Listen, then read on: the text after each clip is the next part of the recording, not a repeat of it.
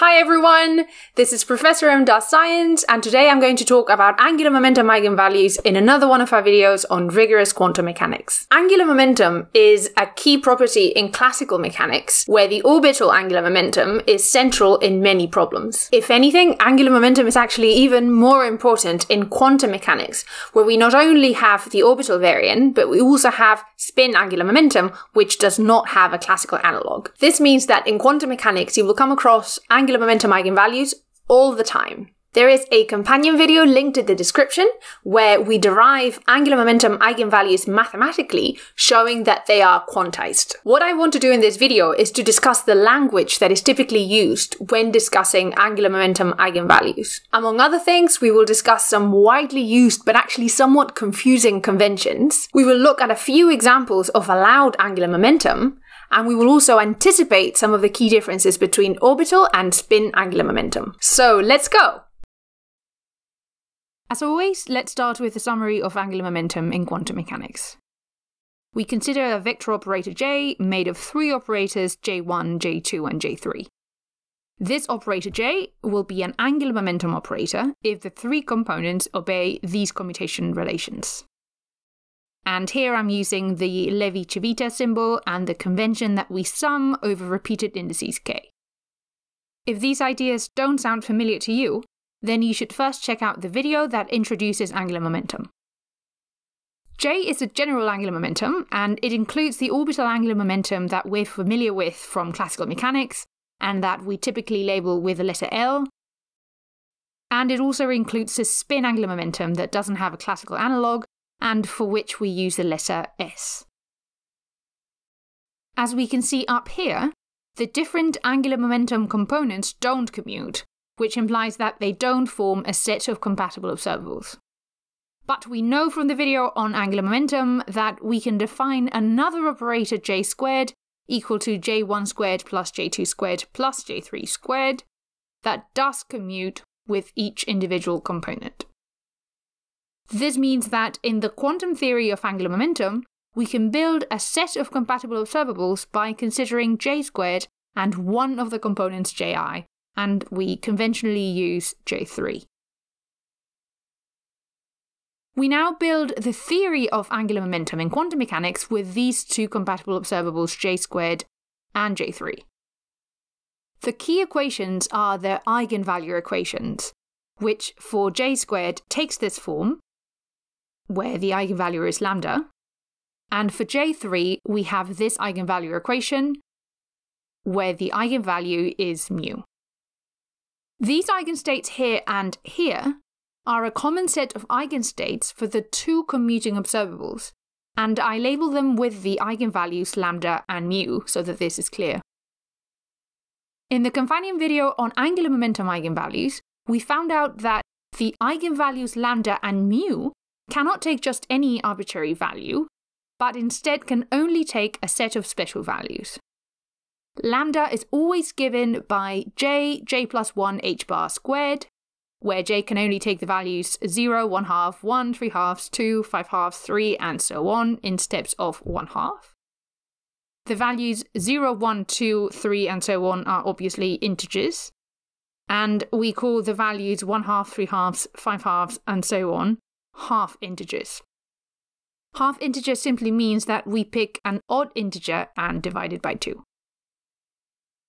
Once we have determined the value of j from this list, then mu is always given by this form, mh bar, and m can only take the values minus j, minus j plus 1, minus j plus 2, and so on in steps of 1, all the way to j minus 1 and finally j. And this list here contains 2j plus 1 possible values for m. So this is it for the angular momentum eigenvalues. In the companion video, I go into a lot of detail over the mathematical derivation as to why these are the only allowed eigenvalues of j squared and j3. Today's video, you'll be happy to hear, is much lighter on the maths front, and I instead focus on some important concepts that we need to be familiar with relating to these eigenvalues. So let's start with a sanity check and just confirm that these eigenvalues have the correct units for an angular momentum. The key insight is to realize that Planck's constant and similarly the reduced Planck constant both have units of angular momentum.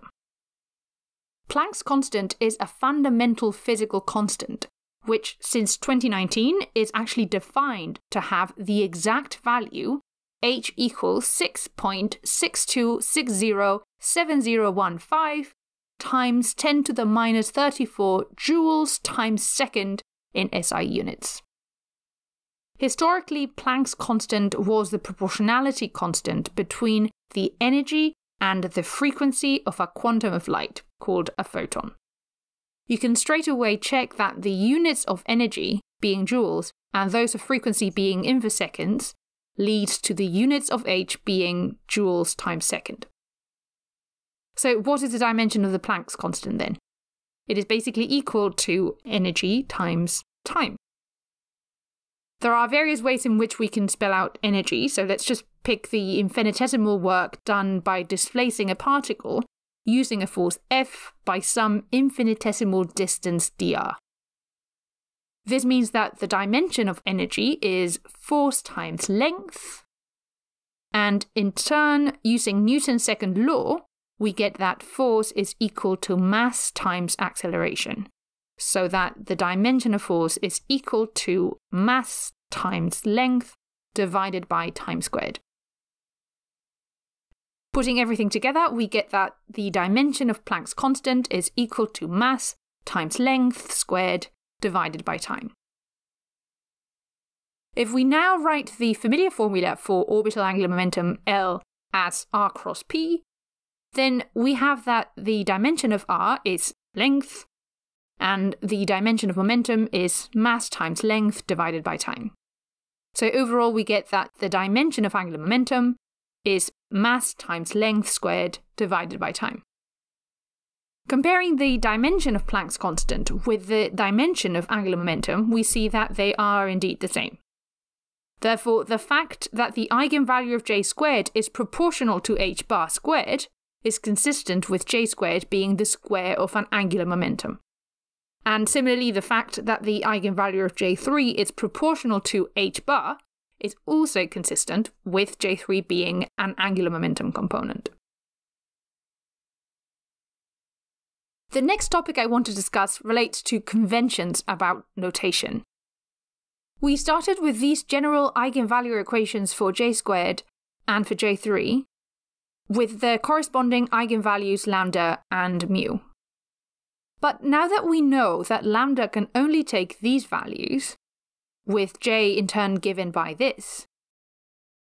And that mu can only take these values, where m is given by this. It then makes sense to replace all lambdas and mu's by their allowed values. In particular, we can do this for the common set of eigenstates, and we could write them like this. However, in practice, we simplify the notation and write these eigenstates as Jm. In this language, the eigenvalue equation for j squared becomes this, and the eigenvalue equation for j3 becomes this. Another important simplification that is used when working with angular momentum is that for a system in eigenstate Jm, we typically say that this is a state with angular momentum j. Now, this language is used constantly, so it is very important to become familiar with it. But it is also essential that you don't forget what an eigenstate Jm really means. It means that the j squared eigenvalue is j times j plus 1 times h bar squared, and that the j3 eigenvalue is mh bar. We're now ready to look at a few examples of angular momentum eigenvalues and eigenstates. Let's start by placing the relevant quantities at the top, starting with j, then the j squared eigenvalue, then m, then the j3 eigenvalue, and then the corresponding eigenstate. The first possible j value in the list is j equals 0. The eigenvalue is trivially 0. m is also 0, and so is the j3 eigenvalue, so this is an easy case. there is a single eigenstate which we label by 0, 0. Let's now look at the next possible j value in the list, which is j equals 1 half. For the j squared eigenvalue, we plug in 1 half in the usual expression, which multiplies to 3 over 4 h bar squared. There are now two possible values of m. The first is minus j, so minus 1 half, and the second is plus j, so plus 1 half. These two m values give two possible eigenvalues, minus 1 half h bar and plus 1 half h bar. There are two eigenstates for j equals 1 half, which are 1 half minus 1 half and 1 half plus 1 half. If we now move on to the next eigenvalue in the list, we get j equals 1. We can plug in the value 1 in the j squared eigenvalue expression and overall we get 2h bar squared. There are now three possible values for m. The first is minus j, so minus 1. Then we add 1 to get 0, and we add 1 again to get plus 1. And this is it because plus 1 is now already equal to j. These three m values give three possible j3 eigenvalues, minus h bar, 0, and plus h bar, and looking at the eigenstates, we also have three, and they are labeled by 1 minus 1, 1 0, and 1 plus 1. You can now see how this would continue for other allowed values of j and the corresponding m, so you should be able to build basically any combination that you need.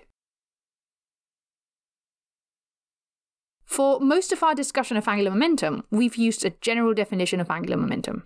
However, we know that we can be more specific and discuss the special case of orbital angular momentum, which is analogous to the corresponding quantity in classical mechanics, and we also have the spin angular momentum, which is a purely quantum mechanical quantity. We also know that we label a general angular momentum using the letter J, but that when we want to specify orbital angular momentum, we instead use the letter L, and for spin angular momentum, we use the letter S. As you can imagine, we use similar changes in our notation when we talk about eigenvalues and eigenstates. The j squared eigenvalue label small j is typically replaced by the label small l for orbital angular momentum, and by the label small s for spin angular momentum. The corresponding eigenvalues read as usual for the general case, and then for the orbital they are in terms of L and for spin in terms of s. For the J3 eigenvalue label m, if there is no possibility of confusion, then we also typically just use m for both orbital and spin angular momentum. However, if we have a system in which multiple types of angular momentum must be included at the same time, then we can use m subindex L for orbital and m subindex S for spin to avoid any kind of confusion. For the sake of clarity, in the rest of the video, I will use ML and MS. But remember that we can have either option and it should be clear what is meant by the context. In this more involved notation, the corresponding eigenvalues read mh bar, mlh bar, and msh bar. And finally, the eigenstates jm become lml for orbital and sms for spin. Feel free to explore our other videos for examples of orbital and spin angular momenta that you can find linked in the description.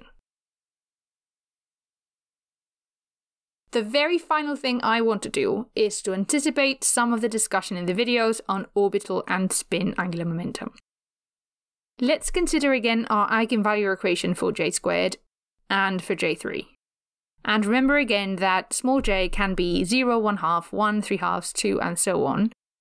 And that for a given j, then m can be any of the values minus j, minus j plus 1, all the way to j in steps of 1.